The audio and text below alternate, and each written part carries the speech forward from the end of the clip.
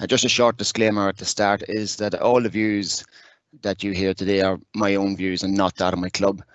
And uh, while I am expressing the views, I'm hopefully not um, expressing somebody else's views um, through myself. So just just that's an important point.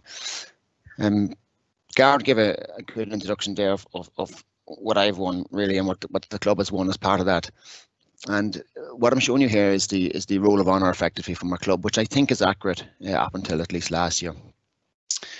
And in yellow is the period that I've been involved with and where I've had success with the club, but also then some of that has been passed me.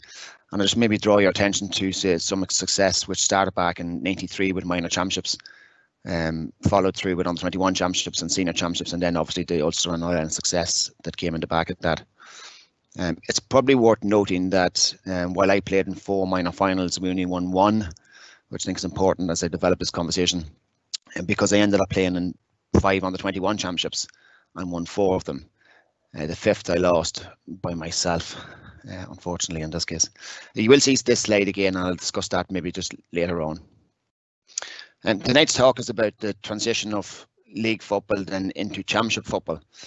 And I suppose it's worth taking some time just to reflect back on what league football means, at least at least to me, uh, what league football means. So what I'm trying to do here is to try and outline what that is from an essential perspective. Okay, so league football to me is about building partnerships throughout the field.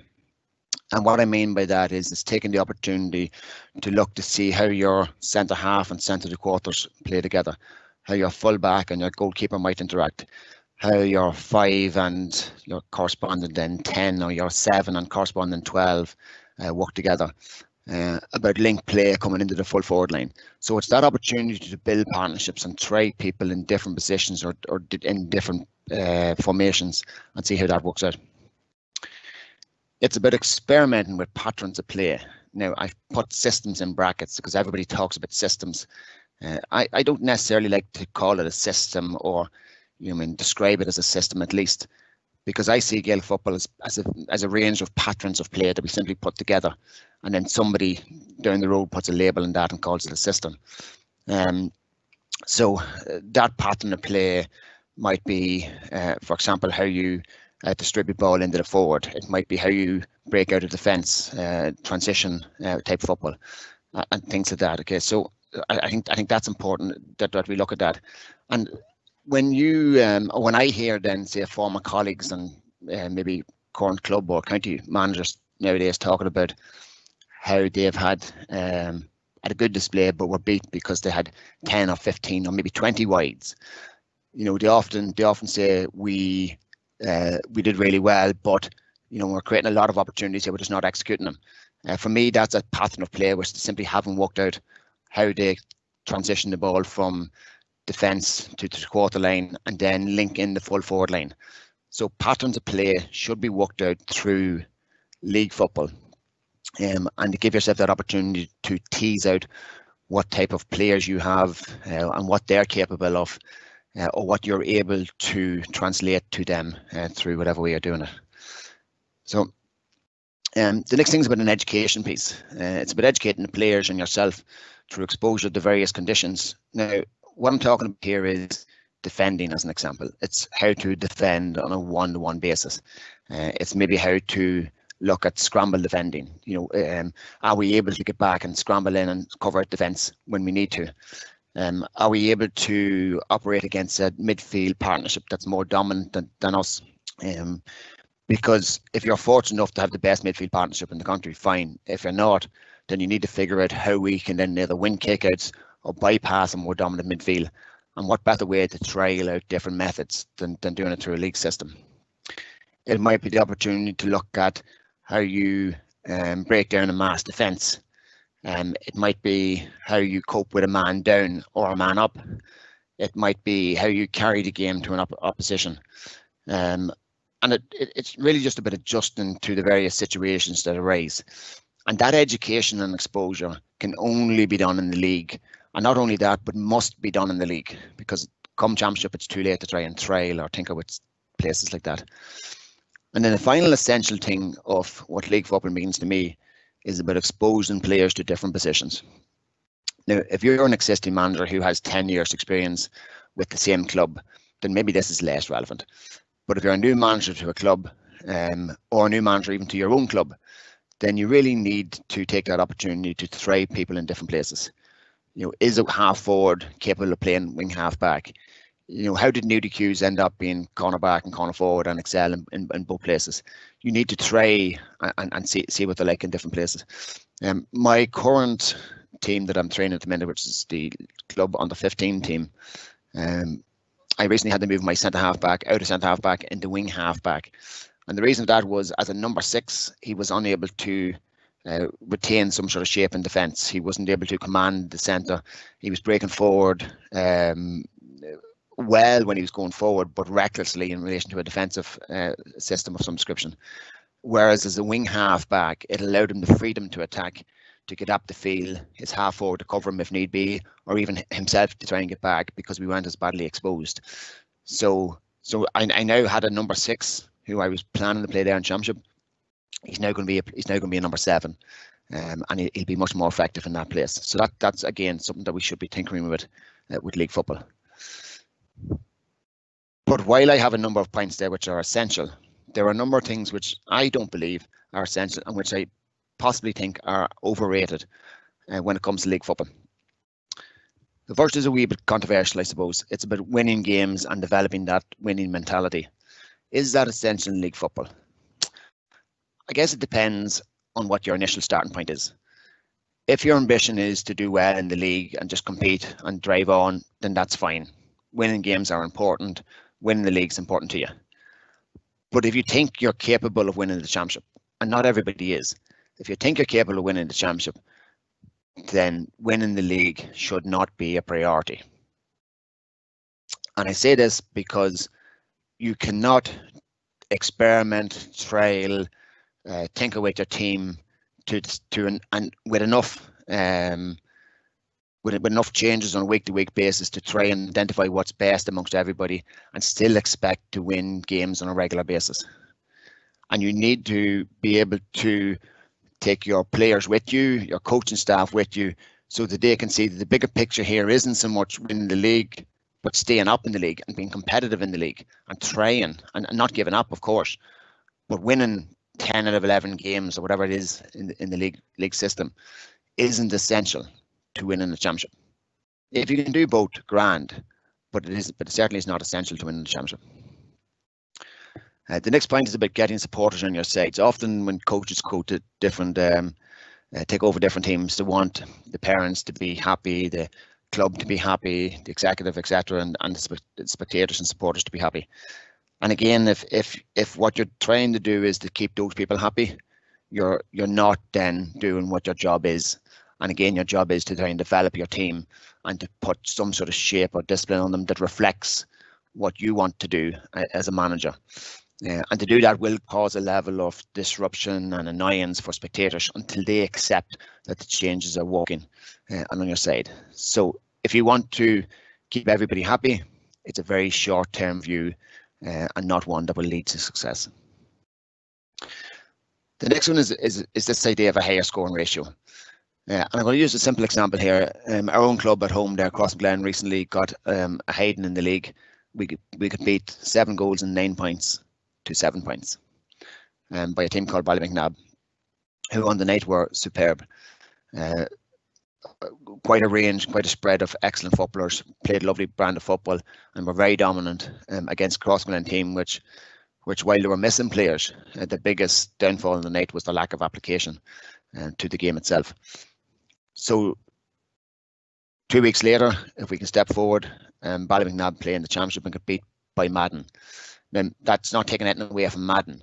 But what it is highlighting is that the high scoring ratio in league matches is is a reflection of yourself and your own team and possibly the strengths of your own team, but also in the strengths or more likely the weaknesses of the opposition that you're playing. And it can create a very false dawn in relation to how you're preparing for championship football. I've put down the reverse of that has also been through in that a mean defence is is not much better either. Uh, and certainly a mean defence whereby a mean defence is built on the back of you know, uh, double sweepers or mass defending from half forwards, etc., then the main defence does not allow you to transition properly into an attacking team. And um, uh, there may well be some people out there from listening from from Donegal. There's quite a few clubs in Donegal who would have very tight and mean defences and with high scoring rates in league football. But when it comes to championship football, um, this differs this differs a lot. Um, and, and if I can, without causing offence in this case, is Kilcar would be one of them. Like you have a very impressive attacking team, um, and hugely impressive right through the league, and, and have been, and, but yet have been unsuccessful so far in in um, in club football championship uh, in Donegal. So so a main defence looks great, and a high scoring ratio looks great. If they both come together, yes, that might be possible, but individually and separately, um, I'm I'm not sure that they're good indicators for championship success. So what is different then with championship? Um, the first thing for me is that a championship team must have a demonstrable clarity in the style of football. Now, what, what does that really mean? What it means is that in league football, it's error-ridden and problems, and you're not sure what the team looks like. Once it comes to championship mode, that team needs to be crisp. They needs to be fluent in how they're set up in whatever shape that might be, even if it's sweepers or all out attack or play wide or play narrow or whatever the case is. The clarity that there must be visible to everybody. And everybody in this case is even the youngest of the spectators that's watching. So my son watching it needs to be able to see how the team is set up, what way they want to play, and are they actually playing that way? Because unless it's visible to everybody else, it certainly won't be understandable properly uh, to the players themselves. So that clarity must be there. And I would contend at least that the best teams will have absolute clarity in how they're going to play or how they're actually playing. And the the important point, I suppose, following on from that, is that that clarity must continue throughout the game. And what you should not see is a is a return to whatever the default position was, either before the management that's currently there, or to whatever they've learned from say schools or otherwise. Like um, whatever the patterns of play that they're doing is repeated uh, throughout the game at, at, various stages. The second thing for championship is that, and, and it's it's an obvious truism, like that that the better teams make less mistakes, uh, and and we all know that to our cost, obviously. So those basic mistakes are, are, are simple.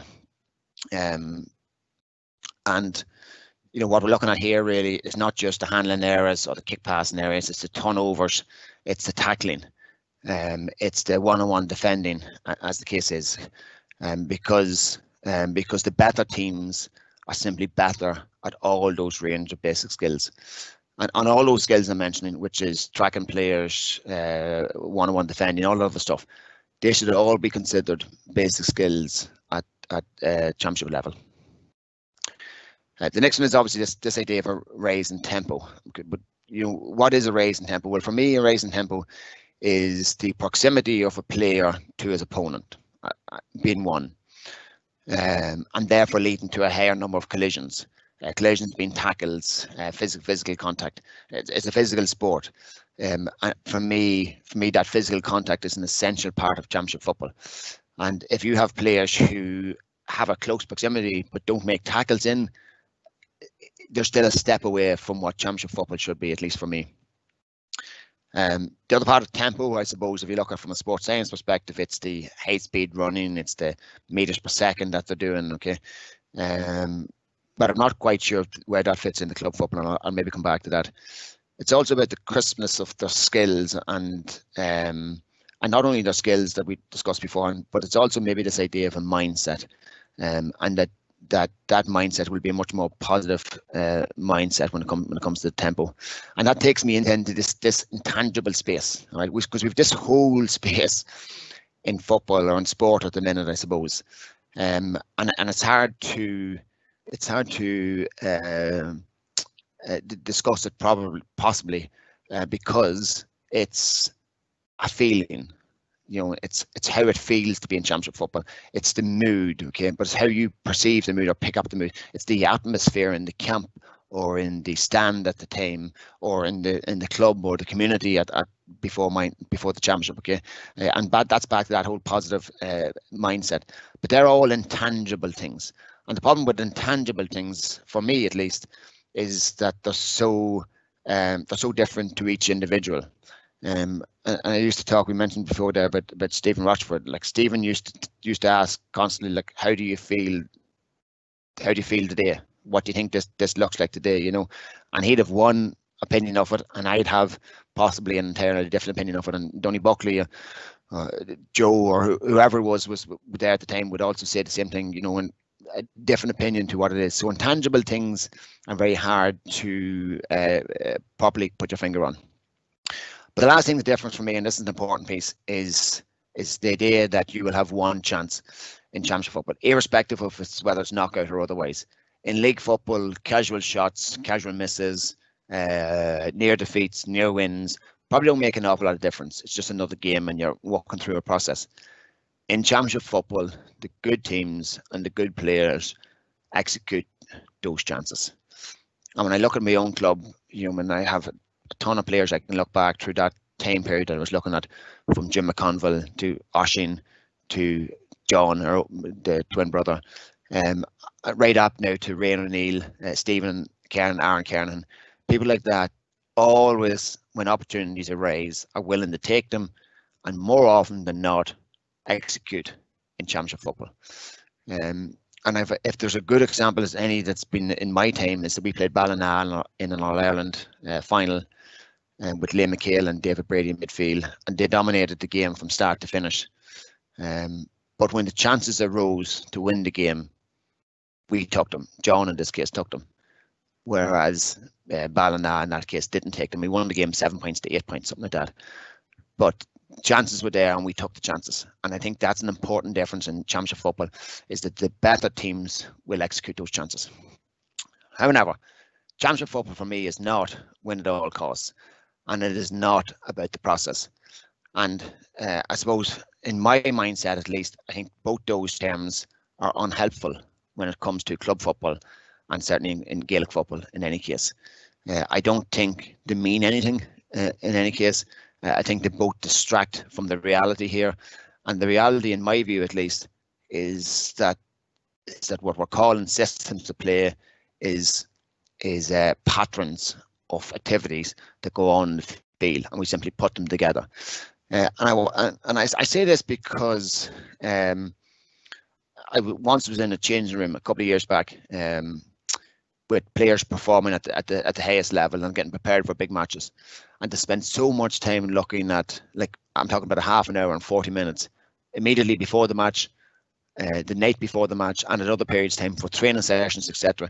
Turning to a book to look in the book to see what the book was saying about what they need to prepare, what their mindset needs to be like, what their um, opposition opponent was going to be doing for the day, um, what they needed to do for the day, uh, and all these triggers and KPIs and stuff they had to try and get in their head. And for me, if that's where our mind is, then then we're missing something here. Um, so it's not a, necessarily about the process and going through step by step by step. I think that is important in rugby and other sports like that, where you have stage steps going through it. Um, but certainly not in, in, in the sport that um, that I play. So how might I prepare then? Okay. Um, when we're looking at the change from championship to, or sorry, from league into championship, and I discussed this already, the first and most important point is clarity of roles and responsibilities.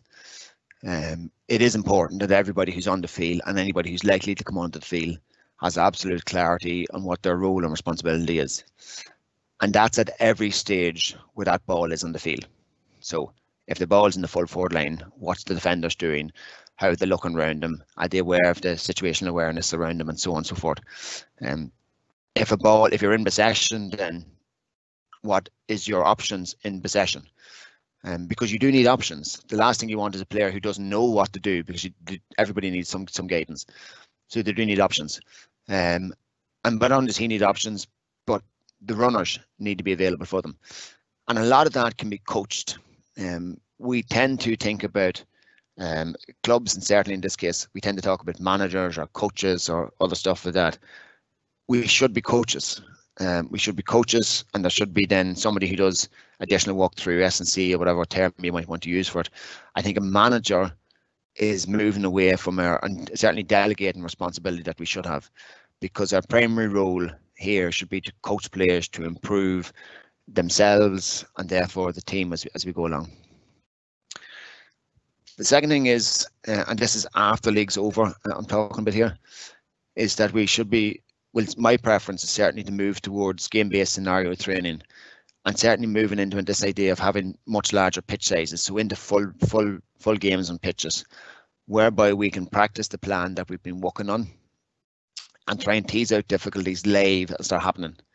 So that's our responsibility then as coaches or managers or whatever to identify and correct those learnings and then try and get the players to reflect that. So get the players to identify and and and and uh, see what see what's happening what mistakes could be made, so they can they can um, self-identify the the issues that's going on. And the last thing, just on the game-based scenario thing, is that the focus should be on us until we are absolutely crystal clear on what we're all doing. Uh, and we should not be bringing in the opposition to our training session until such times as we are comfortable with what we're doing. Video analysis is where the opposition comes in, okay? And he can come in, the, the opposition can come in through um, through looking at the weaknesses and strengths. It can also be used to reinforce own learnings, okay? And certainly in my mind, um, and certainly in, in this day and age, okay, and I know this has changed quite a lot for me over the years, but in this day and age where video analysis should be used, it should be kept at 10 and 15 minute windows uh, where you want to come in, you want to look at a sound bite or whatever that is, either on yourself or in your opposition, and then you use the training session to uh, implement whatever exercises you want to do to overcome or improve whatever it is that you're after watching uh, as an analysis tool. So I don't think it has to be any more complex than that. I, I while county teams, each individual has access to the team and each player and so on and so forth. I think in a club scenario, uh, a lot of that is possibly overkill, but certainly it's something that should be used. It should be used frequently, and it should be used in small bites. Uh, I do believe that sessions preparing for championship should be much shorter and much sharper, uh, which does include speed work on that. Um, I think if regular matches are, uh, sorry, if championship matches are occurring on a regular basis, so on a week-to-week -week basis, as is probably the case now, and if you had planned, uh, sorry, say you had the championship on a Sunday, and you planned to train Tuesday, Thursday, Friday, as an example, for a meeting, and then play the following Sunday, uh, I think you should consider delaying your Tuesday session till Wednesday and cancelling your Thursday session and if you have players missing and if you've starting players missing. And the reason saying that is because you need to be, they need to be learning during the activity. Uh, standing watching the session or partaking while they're getting physio on and off the field is not helpful to the group and it's not helpful to the individual. So um, for me, it'd be much, it would be much uh, smarter for me at least to say, okay, well, let's cancel Tuesday session, run the session on Wednesday where we will have all the players now available. We'll do a high quality session on Wednesday, and then that'll do us till Friday, in which case then it'll be just a run around uh, before the game on Sunday. Um, and where where you're concerned about loads um, for the players or not having fitness levels or what some people call a stimulus, uh, if your matches are occurring on a regular basis, you don't need a stimulus for the starting players, but it may be something you might want to consider for subs or players who haven't who haven't come on at any stage for that matter. Um, for me, the focus in championship season is a technical and tactical space.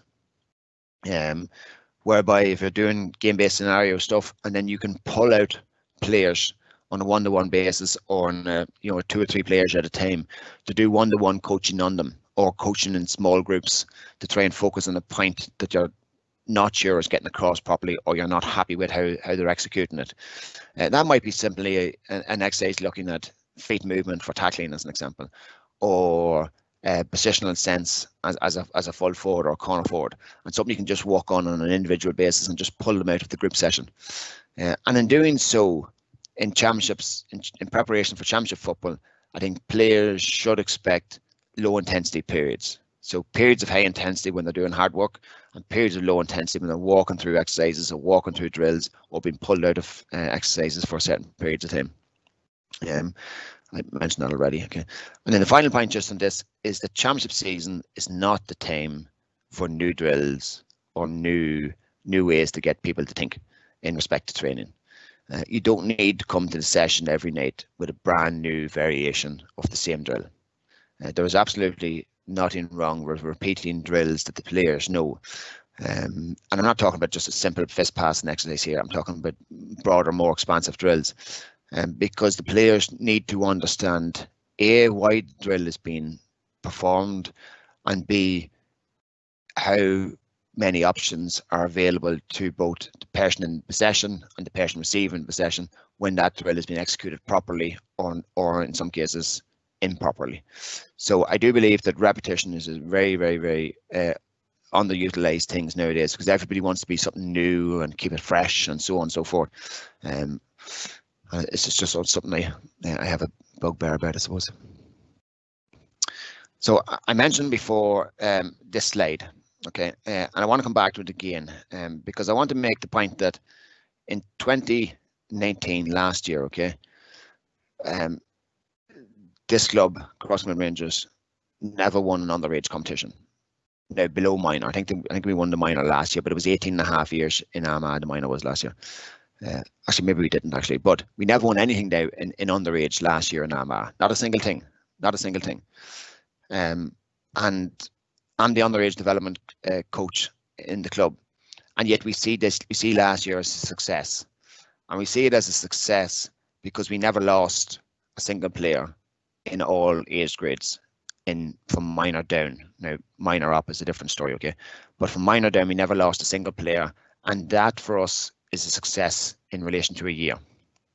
Now, I'm going to compare that possibly to a club that that I was involved with, or in Dublin, as the case is, and um, they had a, a very strong and a very impressive Féile team, uh, and they put uh, they put huge emphasis on the Féile They one the Féile senior Féile now in both football and hurling and had huge ambitions for this team as they were developing uh, through the years. Uh, there's a good few that that was 2013 I think. Most of that team is now fit to play senior football. There's only a couple of them playing senior football, and they certainly have not progressed through uh, through a system um, in in the club, which put a lot of pressure and a lot of emphasis on success early stage, and maybe hasn't developed that through. So the philosophy of this club, at least, um, is about trying to develop senior players on the football field. Uh, it also has a separate, uh, you know, philosophy around social inclusion and community cohesion, which is maybe all part of the, the history of the club, maybe coming through. Um, but what else it has is that it has no external coach at any level. Now that only demonstrates, so the only point I want to make on that is that it demonstrates our ability to get past players re-involved in the club and to support it underage levels. Yeah, and you know, even now we have you know, Ashton McConville and myself, uh, John Stephen Kernan as the senior management, along with Ash, along with Jim McConville. Uh, we've Gareth O'Neill, who who is with myself has won uh, um, uh, two All Ireland clubs. He's now helping with the second team uh, in the junior championship, uh, and we had a, a, wealth of different senior players throughout the years who have all been previous senior management or otherwise coming through. Um, so I think our ability to to bring talent back into the club or reinvest um, those people back in the club has been a huge success for us as we as we go along. Um, and I think the challenge for us going forward as a club, uh, we have been more to talk about it, but I think the challenge for us going forward as a club won't necessarily be how we view the sport, or in fact how GAA itself is is developing with different patterns of play or otherwise. I think our biggest challenge going forward um, will be the GAA itself implementing rule changes and age grade changes, as as is the case with the under 17s, uh, and the difficulty that us as a club will have to meet our social inclusion and community cohesion and developing senior footballers philosophies when the age grades have been brought back from 18 and a half, as the case was, now down to 17. I think that's that's our biggest challenge as a club going forward. So I suppose the question remains then is can anybody win uh, championships? Uh, and I suppose the answer to me is yes, of course they can. Um, but there's a lot of caveats there. Uh, clearly, self belief and confidence, you must have players available to you. If you don't have players, will you win a championship even if you want to? It's unlikely. Uh, if you do have that, then you need to completely understand whatever your game plan is going to be. All right. And you need to have the ability to execute whatever that game plan is under pressure. And again, that comes back to, to my previous point is that if you're under pressure, will you default back to a previous system or previous plan or otherwise? Uh, the good teams won't. The next thing then is about unity of purpose and alignment. Naturally, of course, you know, we all need to be facing the one direction. And of course, you need to know your opposition. You're not going to win a championship simply just looking at yourself. All right. And lastly, that you need a bucket. You need a bucket of luck. But there are a number of pitfalls. Yeah, at least pitfalls that I see, at least. Okay. History, of course, is helpful. Okay. History, as Crossmaglen, gives us confidence, I suppose. But it's probably not essential, and it's certainly not essential if you don't have that history. Um, and if I look at clubs throughout the country, I think one that comes to mind is possibly Trillick. Trillick and Tyrone probably don't have the history that Carrickmore or somebody else has, but yet they're obviously competing for for Tyrone championships. So history is certainly helpful, but not essential. Um, this idea of a of a good manager um, is an, is another thing which which which certainly causes me problems. Um, my my mother has a local shop, and I was in at the weekend there, and I, I met a young fella who was who was playing for um he was playing for a club in, in championship weekend and he, he says to me or I asked him how you gonna how he is fared out for the championship? And uh, they were missing one of the players and he says he says the opposition of a really good manager. And I says to him but he's not playing. So, so what odds if he's a good manager yeah, and and and th- this is a problem this is a problem too because good managers are uh, a perceived thing that you know, I mean, like uh, whoever it is is a really good manager. But good managers, guys, aren't necessarily people who win championships when you don't have players or systems or otherwise in place. Uh, the next pitfall, I think, is keeping up with the Joneses. I had a conversation with a team in Dublin uh, last weekend who rang me for an opinion. Sorry, two weekends ago, who rang me for an opinion um, on the his his players wanted to play the 4 4 4 kick out strategy that Dublin and Kerry deploy every so often. And they wanted this strategy for the game against a high quality opposition. Okay, Division One football, and uh, Championship football in, in Dublin. Um, that's a sporting fad as far as I can see. Uh, not every team can deploy a 4-4-4 kick-out strategy and get away with it. Um, there are others as well. The zonal defence that Galway play, or possibly even Tyrone, but certainly Galway play, is not something that club teams should be trained to emulate uh, and, and, and run with at any stage. Uh, even even even the best of the of the club teams uh, shouldn't be looking at that. Um, the next thing for me, I suppose, is is the aspects of sports science. Um, and for me, certainly, I wouldn't be looking to GPS for answers to win championship football. Uh, we in Cross still haven't looked at GPS um, as, as a source of something that's going to help us win football. Uh, and and part of the problem for me with this is because most of us, and myself included, um, uh, don't have the ability or the knowledge to deal with stuff that sports science is churning out there. We don't have the ability knowledge to properly uh, assess it, decide if it's right or wrong or otherwise. And, and we don't have the uh, funding or the ability as clubs to bring in sports scientists to be able to decipher that data and tell us what it means or otherwise. Um, and when you have when you have um, terms and phrases like player score index, uh, which is an index that allows you to rate players against what their expectation might be, and therefore tell them that they perform less or better than what their expected might be. I don't see this as useful in relation to helping people develop uh, and certainly prepare for championship football. Um, sports psychologists um, or anything close to that aren't necessary aren't necessarily for everybody. Um, but I would say don't doubt yourself. Um, there is a pitfall and there is a pitfall out there somewhere that you know unless you have a sports psychologist, then you're not ready. You're not mentally ready, and and whatever else happens here. I think investment in sports psychologists is much more significant than than what we as as uh, Gaelic footballers and coaches um, give it give it the time of day for when it comes to uh, playing. And therefore, unless we invest properly in these things, in which we tend to not have the resources or the time to do, they tend to be more of a hindrance than a help. Uh, in saying that, there are a lot of people who benefit from these things, and therefore it has a place. Um, but will it win you a championship? Not quite so sure. Two other things then, uh, one-off sessions. Okay, one-off sessions are a particular bugbear for me, and I do sometimes um, participate in one-off training sessions for people who are friends that ask. Um, but I see no value in these things if you're taking the session. If you just if you want to go and speak to somebody and talk to the team about your experience and things like this, then yes, there might be value in it. But one-off sessions where you're not familiar with their plan or what they've done beforehand or what they've been working on uh, or how they might set up or play or otherwise, I just struggle to see it as constructive um, for teams. Yeah, and the final thing, um, which is here, is this idea of businessizing sport. Uh, there's a lot of sport terms goes into goes into business, but there's a lot of stuff comes the other way as well. You know, we talk about uh, the uh, in business, they talk about culture, but same in sport, we talk about this culture, and you must have a culture. Uh, we talk about having individual KPIs for people. Uh, this idea of stretch targets, um, the idea that Tom or somebody will take the lead on whatever the stuff is you're doing, uh, that you're results driven, that you might have a leadership team, uh, a leadership team formed of whatever three or four senior players or juvenile player or or new uh, young player coming into the squad.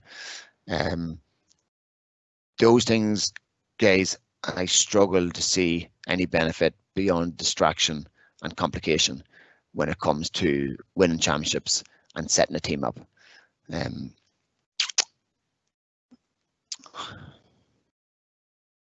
that's it. I'd love any questions if anybody has any questions. I suppose just before we get on to the questions, a few things that that I have in my mind are you talk about patterns of play um, as opposed to systems of play, and obviously you're, you're using you're using the league really as a trial, a ground, and experimenting uh, for your patterns, but really your patterns are patterns around defence, transition, attack, as you said. So just just how does that differ from from systems, or is just a different? Is that just a different terminology that you're using? Uh, I, I I understand people using systems as a broader term, uh, Roger, as a term of um, um, you know, like a system being say mass defense, which includes say 13 players, or all out attack, which includes 13 players. But when I talk about patterns of play, I'm talking about patterns of play which are um, connecting maybe two or three players or four players, um, and, and and therefore they're much more um, uh, they're they're much um, that there's certainly much much uh, smaller aspects of the game which just need built up over time and developed, rather than this idea of a mass defense or or say a two man two man uh, sweepers or things like that. You know, uh, I okay. see patterns as, as being much more uh, uh, can involve smaller numbers of players or may involve larger numbers of players, but, but certainly a bite-sized chunks uh, towards what might be seen as a system. Okay, well, maybe just leading on from that, I'm just thinking this idea out there, maybe it's it's um it's something you hear Joe Brolly talking about that Cross don't really believe in systems, that they kick the ball all the time. If you go to if you go to their training sessions, they're kicking the ball regularly, persistently all the time, but they do have some defensive systems or defensive patterns as well. Would that be fair?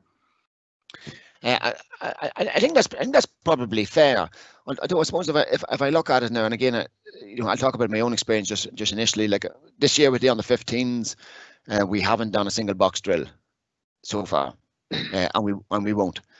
Um, since we've come back to the field, we haven't done any um, uh, uh, you know, heavy running of any description for that matter. Everything's been involved in, in, in the game-based training that we've been doing.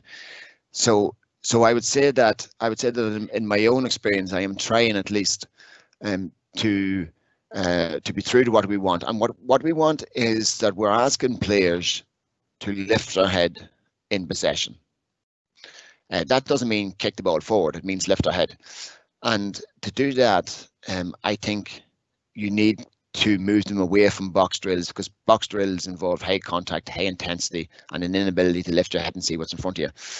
Now, after that, then we're asking them to make a decision at that point, and that decision is either to carry the ball or to kick it on.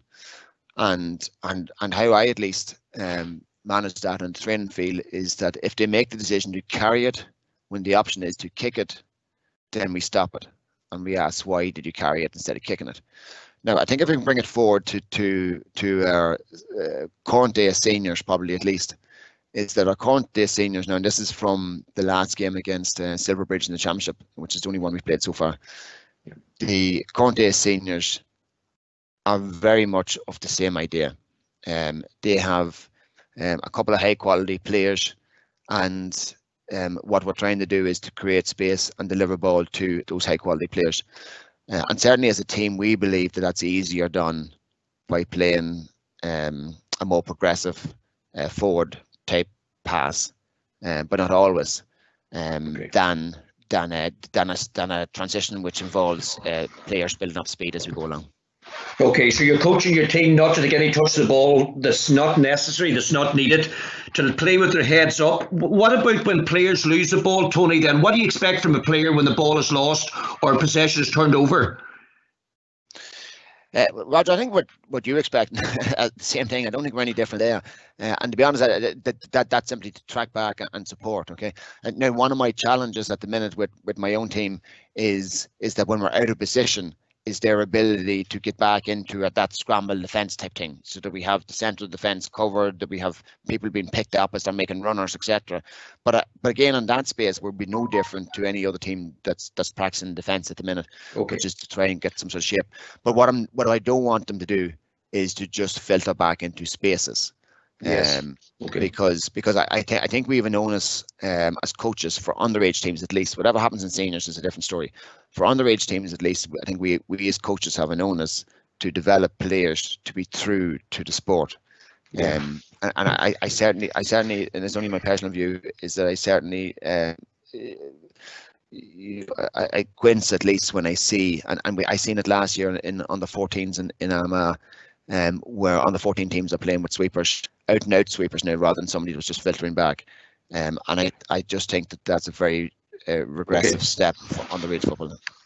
So I think that's a really key point. So we want we want players that are hard, that work hard, but who could get back with real intent to do something, not just to filter back into spaces.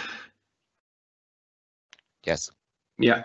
Listen, I'm probably been a wee bit selfish here, but I'm also going to talk to you a wee bit. You talk about the intangible, and and maybe I didn't pick up completely on it, but the intangibles is what it means to the players, to the community, to the group as a whole.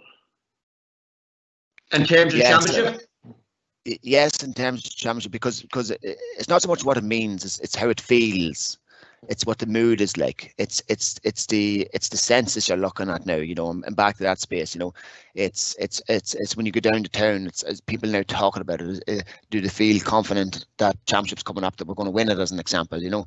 Um do, do the players do the players feel that there's a change in in in atmosphere now between what was league football and was casual yeah. and and getting along to what championship football now is, where there's an actual intensity about it, that there's yeah. a do a day aspect to it, um, that there's something actually to be won.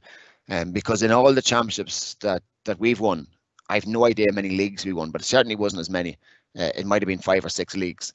Um, and I can assure you, throughout all those times, we were probably a better team than the majority of the teams that we, that we played against. You know. Yeah, and as, as Sean and I used to say, you can find the separation even when it comes to championship championship time. So something like that. Um, yeah. What about enforcers? Now, a lot of people will say when it comes to championship, you need a few boys who can put it about, who can take it to the wire. Now, I'm not talking. I'm talking about still within the ethics of the game and all that. But you do need some do or die individuals in your team. Would you agree with that? Yeah, well, I would agree with that. Um, and again, I would agree within the rules rules of the game. I don't think it's necessary to, to go outside that. Um, but but you do need you do need players uh, who are skillful and you know and silky and all that sort of stuff. But they alone won't win the championship. You do need somebody who's more aggressive. Now, in our club, we, we have some of those players at the minute. We wouldn't be blessed entirely with them. We might have James Morgan as an example, and we might have Callum Comiskey as an example, uh, as two as two defenders that would be uh, aggressive and on that edge on the edge of being maybe over aggressive by times. But but certainly without them, and, and in the past with the likes of say John Donaldson or Joe Fitzpatrick or people like this, um, we would have been blessed with players who, while certainly not the best players on the field or the most skillful players in the field, um, would be essential players uh, to any team. Okay. Um, yeah. Okay, Tony. So I'm going to ask a few of the questions now that have come in. So, just, just is there still a place for that really tough, hard, uh, case hardening session that needs to be done? Maybe not the week, obviously, prior to the championship, but weeks away from the championship, where you really put down a marker with players. Is that is that something you would do? Uh, yes, it was something new. Clearly, clearly for league and pre-season and things like that. Uh, yes, and, and, I think I, I actually think there's also a place for it. Uh, again, depending on your team. So, so Davis Cross then playing a team which, which they would have uh, no concern about. Said, and they were after coming from I don't know intermediate championship, and, and you had no risk against them. Um, in preparation for that match, I don't see any harm in doing a difficult session early on in the week in order to in order to recalibrate. Like one of the dangers, and I talked about that team, uh, Ballymacnab, that that hammer cross in the championship or hammer cross in the league, and then competing in the championship. One of the dangers of you're sailing into a championship uh, game of some description is that you simply don't perform on the day, and nobody ever says, "Yeah, I couldn't put my finger on it," um, but you've sailed into it, uh, and and if you can see that coming, then there's absolutely no harm in doing a difficult session, which may go against all the sports science and stuff in the world. Um, but sports science is no good when you've when you've lost that game. Okay, Tony, thanks for that. Um, just, I, I, you've probably alluded to this, but how big a part do you feel tradition plays in championship success? Yeah, uh, um, I, I, did discuss that a wee bit. Um, so I, I think it certainly helps. I think it helps. It helps because there's a confidence and and and you know from um, uh, you, you know that you have the ability or that you know when that that the opposition um, might have uh, doubts in their minds because they're playing some big team. So so for example, if you went in to play Corofin so whatever Galway team is playing Corofin at the minute, are probably already on a on a hating to nothing because they think there's no way we can control this team. They're after winning three All-Irelands in a row, they can't be beat, and so on and so forth. And under those circumstances, um, tradition has a huge, huge issue.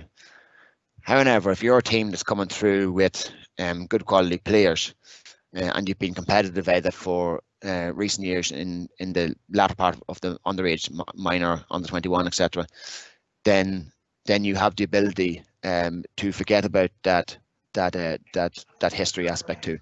Um, if i look at our own team we started winning championships in 96 and um, i think we won one shortly before that but it was 10 years maybe more before that since, since we won a championship. And and therefore while we have a history it wasn't a recent history that we had. And um, I think I think with the combination of management and quality players etc you know you need to look about a time when if you don't have history about going on and trying to make your own history so I, I think it's I think it's helpful it's not essential as I mentioned before yeah uh, but something something you can use to your advantage if you have it. So I'm just thinking, Tony. Then for the vast majority of us out here, the clubs that haven't that tradition, how do you start it? You know, I remember talking to Adrian McGuckin about, you know, Ballinderry many years ago hadn't won championships either. We're we're playing the trade in Division Two, and just a group of players came together with maybe the right management or the right coaches or the right setup. Um, and things just took off. How, how does how do the clubs out there try to get that to happen? well, well, well, I think what you're after saying is exactly is exactly that, and, and this is the same for um, county football as it is for club football.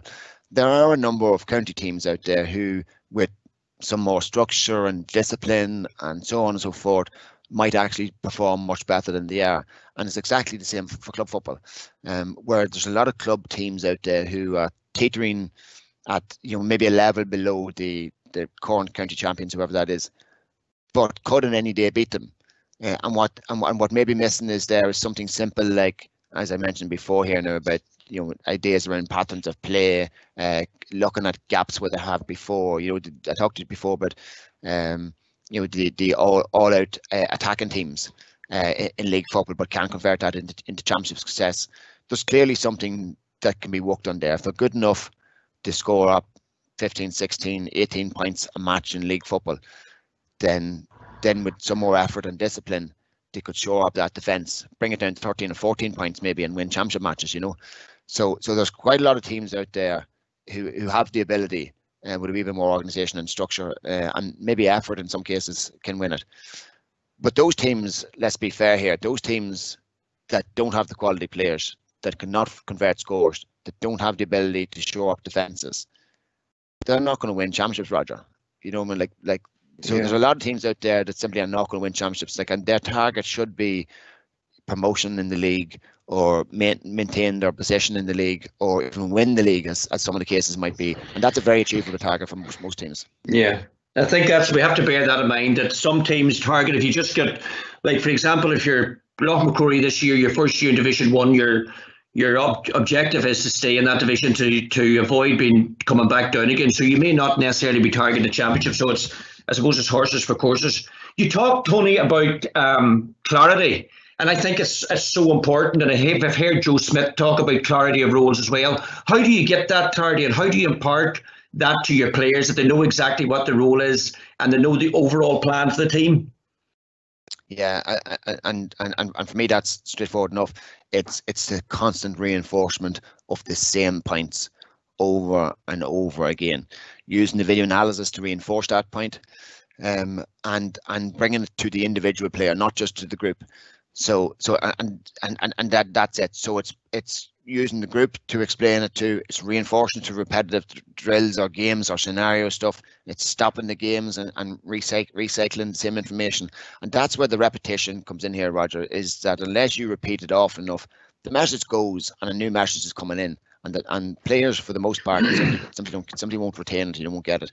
But certainly, certainly, um, some people are, you know, I mean, auditory, some are kinesthetic, some are visual, and you just need to be conscious of what that type of player you're dealing with is and try and give it to them in the way that they'll receive it best. Okay, so you really need to you really need to know your players then. Yeah. Yeah. Yeah. Okay, so just another just one of these. I'm going to ask about another two, Tony, if that's all right. Um, this is one here. So, what would you say was the key to Cross's success over the last two decades, and how difficult is it to sustain that success over such a long period of time?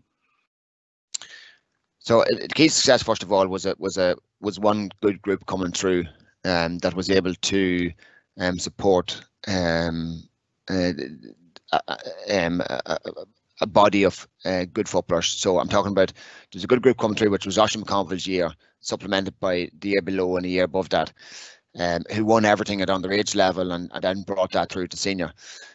Um, so that that they they all came through, or didn't all come through, but certainly 11 of that team came through to start on the first championship success win.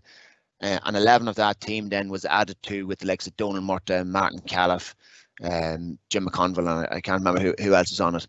But but it was a mixture then of using what effectively and the, the is, is not disparaging in any way, like but the older players and the newer players coming through in order to, to gel a team and, and and bring that skill forward. So that so we were lucky in that we had this bunch of players but a bunch of players that was brought through. Uh, and that's where the club came into it here is that the club actually managed to bring all those players uh, through into senior success. Uh, keeping that going then, um, we believe at least keeping that going was our ability to churn over the older players and replace them then with new kids coming through. So in my case, we, myself and John, I think we quit at 32. Um, we had we played 13 seasons, I think, or something like that there in senior championship football, and we lost in the 13th season. We both felt at that stage we were beginning to slow down, so so we departed, and um, in came younger talent then to try and push on and drive through, um, and that worked. How do we know that worked? Because the following year we won back-to-back All Irelands and won three Ulsters, as the case is, back-to-back All Irelands. Yeah. So, so we know that works, uh, and in time since that. Then we, we've been now trying to brush over old talent. So this year gone past, there's five or six players who maybe stayed on a year extra than maybe they needed to. But uh, there's five or six players who've now moved on, and we've brought in last year's minors, um, and we've already integrated. There's two of them into the starting team that Stephen Kernan um, lined out this weekend past. So it's that yeah. moving players on and keeping players. Now, I suppose somebody's going to say it's all, lucky for Cross. You have all that. Right now, we have 715 members. Uh, of that, we have 60 adult playing members. Uh, we are in a parish which has 1,500 families which services four clubs, three senior clubs and a junior club. So when we're not exactly blessed with riches that everybody might might think we have. However, um, ourselves and our clubs around us, for that matter, uh, do really well at trying to retain those players on the field. Okay, just final question, really. Just this is probably from from my own point of view. You talked about retention. You talked about a minor team last year that you retained, take it right from under 12, under 10, didn't lose any players. You mentioned also about bringing older players back into the system again as coaches, administrators, whatever. Um. What what is is there a secret to that? How do you do that? Uh, no, uh, Uh, I, I, don't necessarily think think there's a secret to that. Now, let me let me go back to the underage. There's a lot in that question, uh, Roger. Um, with the underage, we sit with the parents at the start of every year and we explain to the parents at the start of every year that this is about inclusion and development of the players. Um, we we have our challenges throughout the year to to adhere to what we say now. In fairness, it, it doesn't be smooth sailing. Um, so, in my own example, in the 15s this year, we had 34 players at under 15 um, half would be 15 year old and half would be 14 year olds. So we decided that um, we would put in two teams, uh, a Division One and a Division Three team, in the two 17s, and then ensure that everybody gets football this year. The alternative being that they only play whatever it is, four or five subs a match, and, and no, nobody gets games for every four weeks or something like that. Uh, now, with COVID, things changed a wee bit, but we put in two teams for the league um, and between injuries and that, we're down now to 28 players. So we're back to one team. But back to one team hasn't changed our philosophy because we played Clevie last week in a on the 15 uh, league match, and we started out with a strong team, uh, or what would be the older team, I suppose. Um, played them for half an hour, and because of unlimited subs, we put on then an entirely new team at the start of the second half, and we played them for the second half. Now we were 15 or 17 points up at half time, and we ended up drawing the game. But but to us that really makes no difference because we all got game time. Uh, we all got uh, our ability to, to show our skills and display our skills, etc. Uh, and the kids all left happy that they actually got game stuff. So that's we try and replicate that at the different age levels. Uh, we try not to uh, split them up based on skill or otherwise, um, and and we try to we try our best at least, I suppose, to to keep everybody involved, irrespective of their ability, uh, and, and ability would be mixed in a lot of cases, Roger. So that's that's the underage thing. Um, when it comes through wee bit further up, then I suppose we simply just ask the parents to come back in and help, uh, or ask uh, the former footballers uh, to come back in and help, uh, and more often than not, uh, to do, you know. So Tony, just sorry, I did see that as the last question, but there's just one that's come through to me here, just in a in, in a WhatsApp. So just come through. Do you think the long kicking game, the cross play, sometimes is detrimental to winning games, particularly in Ulster when teams play sweeper, sweepers and nullify this? Case example, last year's game uh, against, I don't know, in Ulster, no alternative to this game plan possibly cost them. Now, I don't know who said that question in, but I'm just reading it out. Uh, yes, it's a fair enough question, but what I would challenge there is is that is that um, uh, well, first of all, I should say is that in the past couple of years that that has been the case. Is that we went to Ulster, uh, and that our execution of our plan has been horrendous, and it hasn't it hasn't worked. However, I would say that that's not so much the plan, but a decision-making process of the of the of the uh, players on the field or whatever was going on at the time. So, so I think yes, there is merit, and totally merit in what that um, uh, person is uh, contributor is saying. However, um, I, I, would contest that um, the responsibility for this must lay with players on the field because the decision making process to kick ball into a sweeper is not the correct decision making process. And that's the part that we have to learn as a team in order to try and adjust yeah. and adapt because we should be able to, to and this is why I talked about um, um, pattern to play. We should be able to adjust to the scenario and carry the ball when it's appropriate and kick the ball when it's appropriate. And we should be better, better players and better teams are better able to make those decisions live at the time. And that's the that's the reason why we need to move, or why we're trying at least to move towards uh, game scenario type stuff where we can make that decision. And if there is a sweeper in place, that when we can call out whether that was a good decision or bad decision based on what's going on. But I, I think I think we will learn from that uh, because we've shown before we can learn from it uh, and still stay true to what we do.